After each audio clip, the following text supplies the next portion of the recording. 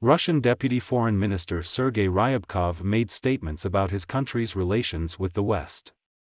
In the face of the increasing involvement of the West in the Ukraine problem, Russia will take the necessary measures, direct confrontation with the United States and NATO is not in Moscow's interest, Ryabkov said.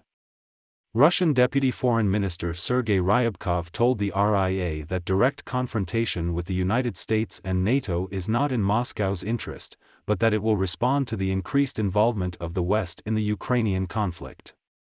We hope and warn that they realize the danger of an uncontrolled escalation in Vasington and other Western capitals, Ryabkov said.